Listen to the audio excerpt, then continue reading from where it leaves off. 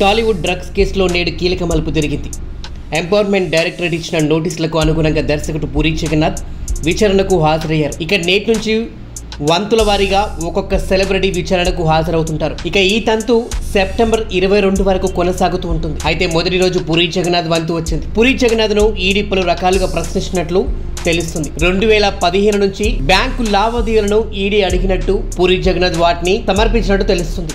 అయితే ఈ వ్యవహారం ఓవైపు కొనసాగిస్తుంటే బండ్ల గణేష్ ఈడీ కార్యాలయానికి వచ్చారు. ఎంపవర్మెంట్ డైరెక్టరేట్ కార్యాలయానికి నిర్మాత బండ్ల గణేష్ వచ్చారు. బండ్ల గణేష్ రాకతో అతని పాత్రపై పలు అనుమానాలు వ్యక్తమవుతున్నట్లు సోషల్ మీడియాలో వార్తలు వస్తున్నాయి. ఇక ఈడీ కార్యాలయానికి చేరుకున్న బండ్ల గణేష్ అక్కడిగా రావడంపై క్లారిటీ ఇచ్చారు. నాకు ఎవరు నోటీసులు ఇవ్వలేదు.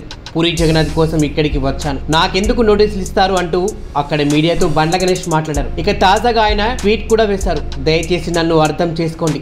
నాకు ఏ విధమైన సంబంధం లేదు. నేను పూరి గారికి మద్దతుగా మాత్రమే వచ్చాను అంటూ క్లారిటీ ఇచ్చారు. ఇక పూరి జగన్నాథ్ అల్లు అర్జున్ కాంబినేషన్లో వచ్చిన ఇద్దరమ్మాయిల సినిమాకు బండ్ల గణేష్ నిర్మాత అన్న సంగతి తెలిసిందే. ఆర్థిక లావాదేవీల గురించి ప్రశ్నిస్తున్న సమయంలో పూరి జగన్నాథ్ నటుడు నిర్మాత అయిన బండ్ల గణేష్ పేరును ప్రస్తావించినట్లు దీంతో గణేష్ను అధికారులు కార్యాలయానికి రప్పించాలనే వార్తలు వచ్చాయి. వాటిపై బండ్ల గణేష్ స్పందిస్తూ వాటిని ఖండించారు. నేను ఒక్కపొడి కూడా వేసుకోను. నాకెందుకు నోటీసులు ఇస్తారు? నా స్నేహితుడు పూరుని కలిసేందుకు మాత్రమే వచ్చాను అని బండ్ల గణేష్ క్లారిటీగా చెప్పారు.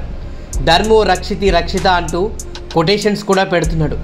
డ్రగ్స్ కేసులో తన పేరును లాగకండని కేవలం తన స్నేహితుడు పూరిని కలిసేందుకు వచ్చాను. తమది ముప్పై ఏళ్ళ బంధమని బండ్ల గణేష్ వివరణ ఇచ్చుకున్నారు. ఈ వీడియో కనుక మీకు నచ్చినట్లయితే లైక్ చేయండి షేర్ చేయండి కామెంట్ చేయండి. మరిన్ని లేటెస్ట్ అప్డేట్స్ కోసం మా ఈ ఛానల్ని సబ్స్క్రైబ్ చేసుకోండి. కింద ఉన్న బెల్ ఐకాన్ని క్లిక్ చేయండి.